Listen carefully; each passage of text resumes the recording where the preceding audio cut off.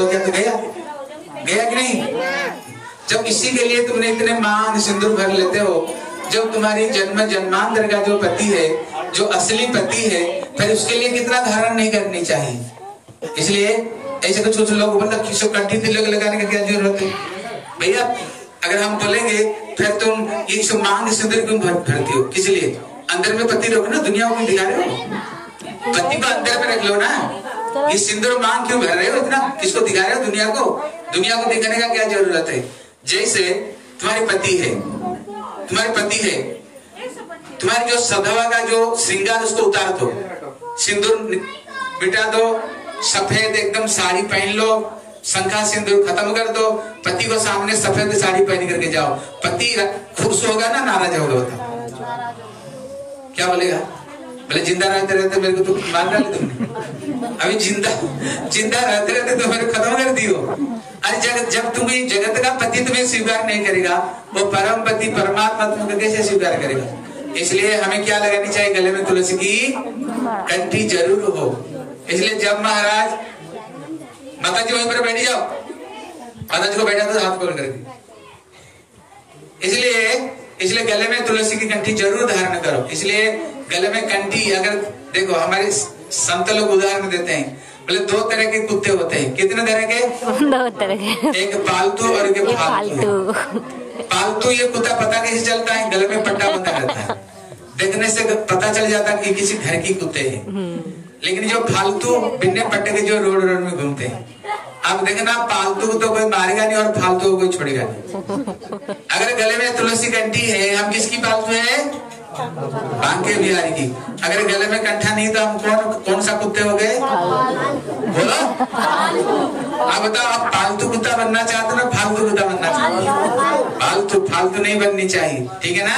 हमें ठाकुर जी की बांके बिहारी जी की, पालतू बननी चाहिए, शास्त्र जम स्वयं कह रहे गले में कंठी हो तो हम भगवान की पालतू। देखो, आप लोगों को जो गले में तुलसी आपको देखे देखे होंगे ये कभी कभी नारायण के साथ में तुलसी की शादी होती है। देखो देखे होंगे? इसलिए तुलसी, लक्ष्मी, अगर गले में तुम्हारी तुलसी कंठी हो तो कहती है माँ लक्ष्मी की निवास हो गया। गले में माँ लक्ष्मी की निवास हो गया, क्यों ये लक्ष्मी है? हम कहते ना, वृंदावन चलो। बोले, क्यों? बोले बांके बिहारी कहा है? बिहारी कहाँ पर? वृंदावन। वृंदावन मतलब क्या? वृंदावन। वृंदा मतलब तुलसी। वन मतलब वन, जहाँ तुलसी का वन, वहीं पर बांके बिहारी अगर गले में तुलसी कंठी हो तो कौन आ गया? बांके बिहारी गले में बांके बिहारी और माँ लक्ष्मी दोनों की गले में निवास हो गया। जैसे हम स्नान करेंगे, ये तुलसी में जब टच करते हुए जाएगा ना, शरीर का सारे पाप को निकाल देता है। जैसे अभी करुणा है। अभी करुणा है ना, अब देखो डॉक्टर लोग तुलसी पत्ता खाओ। तुलसी का जूस आप यहाँ पर पातंजलि में खाओ है? वहाँ पर तुलसी पावर, एक दवा मिलता है, इसको पढ़ करके देखना। दो सौ बीमारी की प्रतिषेध का जो मेडिसिन ये तुलसी दो सौ बीमारी रोज रोज जो कोई दो दो तुलसी पत्ता खाए ना कभी ज़िंदगी में तुम्हें टीबी कैंसर कभी हार्ट अटैक तो कभी ज़िंदगी में नहीं होगा। अगर दो दो तुलसी पत्ता अगर रोज रोज खाओगे इतने शक्ति है तुलसी वृक्ष में है? इसलिए तुलसी वृक्ष नहीं ये सख्यात माँ लक्ष्मी ये सख्यात माँ गले में कंठी मतलब क्या हो गया माँ लक्ष्मी की निवास इसलिए गले में फालतू नहीं बनना क्या बनना है? फालतू। हाँ, और तिलक ज़रूर तिलक देखो जैसे कोई व्यक्ति अच्छे बिज़नेस के लिए जा रहे हैं बच्चे हम क्या कर? तिलक लगा कर छोड़ते बेटा जाओ। तिलक लगाना मतलब क्या विजय। तुम्हारी ये काम बन जाए, हैं? घर में जैसे कोई ब्राह्मण आएगा। अब देखना जब तक तिलक नहीं लगेगा, पूजा नहीं करवाएगा। क्यों? तिलक का बगैर जो पूजा है, सबके सब निष्फल हो जाता है। इसलिए आप हनुमान जी को देखे हो? मूर्ति देखे हो हनुमान जी को? आप देखना हनुमान का तिलक देखोगे। बाकी बिहारी देखो देखो कृष्ण यहाँ पर देखो, तिलक एक नहीं देखो। भगवान राम को देखो, कहीं भी भगवान राम का फ़ोटो है देखना भगवान राम, लक्ष्मण इतने बड़े मोटे तिलक। कहीं भगवान नारायण को देखोगे, उनको तो आधा मुँह तिलक में भरा हुआ है। ठाकुर जी स्वयं हनुमान जी स्वयं तिलक लगाते। इसलिए जो तिलक है, देखो, ये जो तिलक हम लगाए ना, इधर ये ब्रह्मा, बीच में विष्णु और इधर है महेश, ब्रह्मा, विष्णु, महेश। ये दो दो रेखाएँ हैं ये ठाकुर का दो चरण है। उसको नीचे देखो, जो जो, ये जो चिन्ह है, जैसे ठाकुर का चरण में तुलसी बता दिया, ये हरि मंदिर है। कर जो व्यक्ति तिलक धारण करता है, अगर एक बार कोई उनको देख लिया ना कहते कृष्ण दर्शन करने का उसको फल मिल जाएगा। समझ रहे हो? अगर जमपुर नहीं जाना चाहते हो, तिलक लगाया करो गले में तुलसी की कंठी। और तीसरा चीज़ क्या? भगवान की नाम को जप करो। अब देखना ज़िंदगी में जो कुछ करना करो। लेकिन जब अंतिम समय आएगा, जब चार व्यक्ति ले जाएँगे, राम चार व्यक्ति शमशान जलाने के लिए ले जाएँगे। अब सुने हो क्या बोलते बोलते ले जाते? बोलो ज़ोर से। यही बोलते हैं ना? राम नाम सत्य है, गोपाल नाम सत्य है, सत्य बोल गत्य है, सब कोई बात झूठा है। मतलब क्या है? तुमने राम का नाम छोड़ करके जो कुछ संसार में कर रहा था, बेटा, बेटी, नाती, पोती, ये सब झूठे हैं तुम्हारी। सच्चा क्या है? राम। का नाम है इसलिए मीरा कहती है पायो जी मैंने राम रहना धन पायो ज़िंदगी में मिला किया बल केवल राम का नाम ही मिला जगह में सभी खोवायो पत्नी जाएगा रो रो कर दरवाज़ा तक परिवार शमशान तक उसका आगे कोई भी काम करने वाले कोई भी तुम्हारे काम में नहीं आएगा केवल राम का नाम ही काम में आएगा। इसलिए ज़िंदगी रहते हुए क्यों राम का नाम नहीं ले। ठीक है? एक बार हाथ उठा कर बोलो।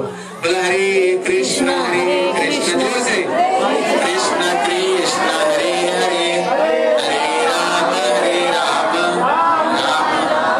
हरे बार ज़ोर से।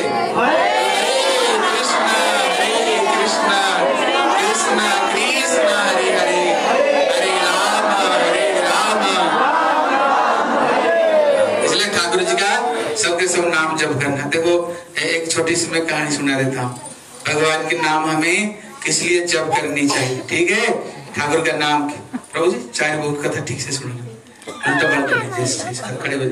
हमारे प्रभु जी आपको एक कथा सुनाएँगे चार ही बहुओं की कथा सुनाएँगे। ठीक है? हमारे साथ में कौन सा बहू जाएगी ये प्रभु जी। हाँ देखो और, एक चीज़ समझ लो। इधर सुना अरे बात क्यों करती हो? हाँ देखो आज एकादशी का दिन। घर का मालिक का नाम क्या हाँ? राजवीर सिंह। और उनका धर्मपत्नी का नाम? क्या होती ओमवती जी। अरे बेटा का नाम? दीपक बाबा। पत्नी का तुम हो? हाँ देखो देखो, जिस दिन घर में, देखो, धन जिस दिन घर में संत लोग आते हैं, और एकादशी का दिन संत लोग आए, घर में ठाकुर का कीर्तन हुआ, भजन हुआ, ये साधारण बात नहीं। शास्त्र कहता है, जिस दिन घर में संत आए, कीर्तन हरि कथा हुआ ना कितना मंगल भवन अमंगल हरि घर में कीर्तन होने से घर का सारे अमंगल दूर हो गया। जितना दूर तक तो ठाकुर का नाम घुसता है, जितने भूत, पिशाच, डाकीन, साकीन, जितने अपद देवता घर से सब निकल जाएँगे। कि वो घर घर नहीं रह गया, वो घर भगवान का धाम हो गया। भगवान का धाम हो गया, वृंदावन धाम घर बन गया। जिस दिन घर में संत लोग आकर कीर्तन करते हैं। लेकिन हम लोग क्या करते हैं? अगर बच्चे का बर्थडे हो, शादी का सालग्रह हो सारी दुनिया को बुलाएँगे। और डीजी डीजी बजा करके उल्टा पुल्टा फिल्मी का गाना बना करके और पी पा करके पागल होकर नाचते हैं। यही लोग कहते ही करते हैं में उल्टा पुल्टा काम करते नहीं, इसको द्वारा जीव का कोई कल्याण नहीं। जीव का मंगल नहीं है। अगर संतों को घर में बुलाओगे हरि कीर्तन हरि नाम होगा ना बच्चे को हम आशीर्वाद देते हैं, वेद मंत्र के साथ में। बच्चे का ज़िंदगी सुधरे अच्छे बने बच्चे, हैं? जिसके उद्देश्य में ठाकुर का कीर्तन घर में होगा, वो बच्चे का ज़रूर कल्याण होगा। एक संत कह रहे थे, जिस बच्चे के उद्देश्य में अगर घर में दारू पिए, शराब पिए, मांस उल्टा पुल्टा अंडा खाए, अगर बच्चे का उम्र अगर सौ साल होगा तो संत कहते हैं, उसी दिन सौ से पचास साल में उतर आएगा। उसे दीन क्योंकि जिसकी उद्देश्य में तुमने इतने बोतल तुड़वाया इतने अंडा इतने जानवर मरवाया वो पाप किसको लगेगा? उसी बच्चे को लगेगा जिसके उद्देश्य में कर रहे हो। जिसे शादी की सालगिरह कर रहे हो उसको सारे को पाप लेना पड़ेगा। लेकिन जिस घर में ठाकुर का कीर्तन हरि कीर्तन हो उसका जितना पुण्य किसको लगेगा? जिसके उद्देश्य में कर रहे हैं? इसलिए आज इनके घर में जो कीर्तन भजन हो रहे हैं, क्या समझो? इनका घर का मंगल हो जाएगा, कल्याण हो जाएगा। इसलिए आप लोग भी क्या करो? हम लोगों को बुलाया करो, ठीक है? घर में कोई भी तिथि होता है घर में बच्चे का की बच्चे का जन्म तिथि हो, संतों को बुलाओ, घर में कीर्तन करे हरि कथा हो, घर भगवान का धाम हो जाए, है? घर का भगवान का धाम। इसलिए जो जो भी अपना घर में चाहते हो, हम भी घर में ऐसे कीर्तन करवाएँगे। घर में संतों को बुलाएँगे, घर में संतों का चरण धोली पड़े, ठाकुर की कथा हो, भगवान का धाम बने हम लोग, हमारे प्रभु जी यहाँ पर खड़े हैं। ये प्रभु जी जानते हो? कौन जानते हो? एक दो। हाँ ये प्रभु जी, ये रहने वाले यही के है। ये है सीए है, हैं? छोटे मोटे सीए नहीं। इनके अंदर में आठ दस बच्चे काम करते हैं। बहुत अच्छे सीए हैं। छोटे मोटे नहीं, बहुत अच्छे पोस्ट में प्रभु जी का काम।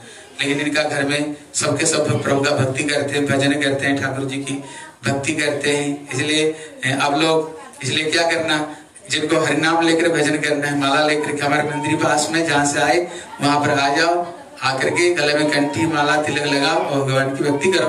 आई प्रभु जी आप कथा सुनाएँगे चार भोग की कथा सुनाएँगे। सब ध्यान सुनो हाँ? प्रभु तो, तो मैं विचलित है ठीक है मैं सुना देता हाँ। ध्यान देकर सुनो पाँच मिनट और ठीक है? देखो अच्छा ये कहानी में सुनाने के बाद ना फिर मैं तुमको पूछूँगा ठीक है? जो बोल पाएगा उसको इनाम दूँगा एक मन से सुनाओ। और ये कथा से मैंने हज़ार लोगों को मैंने सुधरा बदलाया। ध्यान देकर सुना। बोले एक समय कोई एक राजा था बोले उनके चार रानियाँ थी। कितना थी? चार। हाँ, कथा जो सबसे बड़ी रानी थी राजा उसको सबसे ज़्यादा प्रेम करता था। और जिस समय जिस चीज़ की मांग करती थी मेरे को मांग करते थे, राजा उसी समय ला करके उसको इच्छा पूरी करते थे। राजा की जो दूसरी नंबर की रानी, कहती चार रानियों में वो सबसे सुंदर थी। इसलिए राजा जब घूमने जाते थे शहर को, ये रानी को सुंदर करके सजा धजा करके पास में बैठा लेते थे और दुनिया को दिखाते थे, देखो ये मेरी रानी कितने प्यारी, कितने सुंदर। सब चाहते ना, मेरी बीबी सुंदर ही हो। अभी राजा की जो तीसरी नंबर की रानी थी, वो बड़ा बात को बना बना करके मीठा मीठा खूब बोली बोलती थी। राजा जब घर में आते थे, सब तो यही चाहते ना, पति घर से आते ही उसको सुंदर रोटी खिलाए, बैठी करके उसको पंखे से हवा करे मीठी मीठी बात बोले, ऐसे नहीं, पति आते ही सारा दुनिया की उल्टा पुल्टा झड़ा उल्टा पुल्टा बात बोलना शुरू कर दे। नहीं, वो बड़ी मीठा मीठा बोली बोलती थी। इसलिए राजा जब महल में आते थे, उसको पास में बैठ करके उसको मीठा मीठा कथा सुनकर बड़े खुश होते थे, हैं? राजा की जो चौथी नंबर की रानी थी, है तो बड़ी अच्छी प्यारी। लेकिन जब से उसको शादी करके घर से लाए, घर में लाए, तब उसको साथ में कोई मतलब नहीं रखे। कभी पूछा नहीं, तेरे पास में साड़ी, साबुन, तेल है कि नहीं? कभी उसको पूछा ही नहीं, बेचारी बड़ी गुमसुम, दुखी रहती थी। अभी राजा का समय हो गया संसार छोड़ करके जाने का, मरने का समय आया। सोचा मेरे चार चार रानियाँ इनसे पूछता हूँ कौन कहाँ तक साथ देती सबसे बड़ी रानी से पूछा। अब बताओ सबसे बड़ी रानी कौन थी? इतना जल्दी भूल गए तो बाद में क्या याद है अरे बोलो सबसे बड़ी रानी कौन थी? कथा नहीं सुन रहे हो? जिससे सबसे ज़्यादा अरे बोलो सबसे बड़ी रानी कौन कथा नहीं सुन रहे बच्चों? राजा जिसको सबसे ज़्यादा प्रेम करता था हाँ, हाँ। जिसकी मन पसंद को चीज़ को दे देकर खुश करता था अच्छे तरह हाँ, उत्तर दो ना। हाँ, तुम बच्चे याद नहीं कर पाते इसलिए सबसे बड़ी रानी से पूछा बोले रानी देख सबसे ज़्यादा तेरे को मैं प्रेम किया। जो मांगती थी वही देता था। अब मेरा मरने का समय हो गया जाने का। मेरे साथ में चलोगी? वो सबसे ज़्यादा धोखे दी। बोले तेरे साथ में एक कदम भी नहीं चलूँगा। बोले तेरे लिए जो इतना किया बोले तेरा कर्तव्य था। बोले तेरी बोले मेरी तेरी प्रति कोई कर्तव्य नहीं। राजा को तो बड़ा दुख मिला। अभी दूसरी रानी की नंबर आई। दूसरी रानी कौन थी? सुंदर थी बहुत सुंदर थी। हाँ कैसे बोलो ना। इसलिए जो सुंदर थी। राजा जिसको सुंदर करके श्रृंगार करके रथ में बैठा करके सारा दुनिया को दिखाया करते थे। बोले तू क्या करोगी? बोले मैं मैं तो देख रही तू कब मरोगी? और मैं तो दूसरे से शादी करने के लिए तैयार कर रही हूँ। बोले शादी क्यों करोगे? बोले देख मैं कितने सुंदर ही बोले तो है तो, तो बड़े सुंदर। बोले जहाँ जाऊँगा वो मेरे को पसंद कर लेगा मैं तो दूसरे से शादी कर लूँगी। राजा को प्यार करने से ज़मीन खिसक गई। बोले ये क्या कह रही है? ये तैयारी है दूसरे की शादी करने करने के लिए है? अभी अपनी तीसरी नंबर से पूछा तीसरी नंबर कौन थी? मीठा बोलने वाली। जो मीठा मीठा बोली बोलती थी बोले तू क्या करोगी चलोगी? वो थोड़ी अच्छी निकली। बोले चलोगी? लेकिन दरवाज़ा तक। बोले दरवाज़ा तक चलना कोई चलना बोले ज़्यादा बोलोगे ना चार कदम तो आगे बढ़ सकती हूँ लेकिन तेरे साथ में चलने वाला नहीं। बोले भैया दरवाजे तक चलना कोई चलना कहते भाई तू ही किसी काम की नहीं। अभी चौथी नंबर आई चौथी नंबर कौन थी?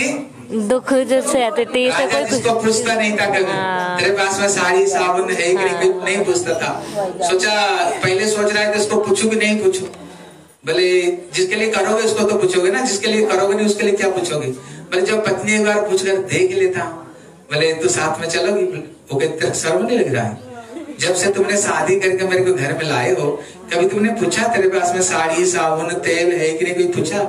तो है नहीं मरते समय दांत निकाल करके तुम मेरे साथ में चलोगी देख राजा, मैं तेरे को सबसे ज़्यादा प्रेम करती हूँ। लेकिन भले ही तुमने ज़िंदगी में मेरे को पूछा ही नहीं, लेकिन दिल से तेरे को मैं बहुत प्रेम करती हूँ। तेरे साथ साथ में चलूँगी। सुख में सुखी, दुख में रहूँ, दुखी रहूँ बनूँगी। बिना खाने, बिना खाए पिए तेरे को मैं खाना खिलाऊं राजा को बड़ा आश्चर्य लगा। जिनके लिए मैंने ज़िंदगी दे दिया कोई जाने के लिए तैयार नहीं, और जिसके लिए कुछ किया नहीं कोई जाने के लिए तैयारी इसको ध्यान देकर सुनो। अगर आज इसको समझ जाओगे ना, आज से तुम्हारी जीवन बदल जाएगी। अगर इतनी सी बात नहीं समझ पाओगे ना, समझ रहा मेरे से बेवकूफ़ दुनिया में कोई है नहीं। सबसे बड़ा बेवकूफ़ मैं दुनिया में। ध्यान देकर सुना। कहते, सबसे बड़ी रानी वो है, हम जिनको अभी सबसे ज़्यादा प्रेम कर रहे हैं। जिस चीज़ की मांग करती है भले चोरी गुंडागिर्दी बदमाशी ठगना क्यों नहीं पड़े? उसी समय वो काम करके उसकी इच्छा पूरी कर रहे हैं। लेकिन जब अंतिम समय में उससे पूछेंगे चलने के लिए एक कदम भी हमारे साथ में वो चलने वाले नहीं। वो कौन है? शरीर तो बोला किसको प्रेम करते हो? ए, बोला किसको प्रेम करते हो? शरीर को। शरीर को। अरे बोलो किसको प्रेम करते हो? हाँ देखो जगत में प्रेम नाम का जगत में कोई चीज़ है ही नहीं। जगत में प्रेम नाम का कोई जगत में चीज़ है ही नहीं। ऊपर हमें जो प्रेम थोड़ी बहुत दिखती है ना चूँकि आपसे कुछ मिल रहा है। आप कैसे हो? बोले जब तक जेब में पैसा हो पैसा कर तुम कौन? जगत में कोई प्रेम नहीं। हम जो दिखता है ना प्रेम जगत में वो चूँकि केवल स्वार्थ की वजह से तुम्हें प्रेम दिख रहा है। वो स्वार्थ खत्म होते ही सारे प्रेम ही खत्म हो जाते हैं। अब प्रश्न है, फिर सबसे ज़्यादा प्रेम किसको करते हैं? हम अपनी आप को सबसे ज़्यादा प्रेम करते हैं। अपना शरीर को हम सबसे ज़्यादा प्रेम करते हैं। ये शरीर जिस समय हमें जिस चीज़ की मांग करती है, बोले ब्यूटी पार्लर में चलोगे?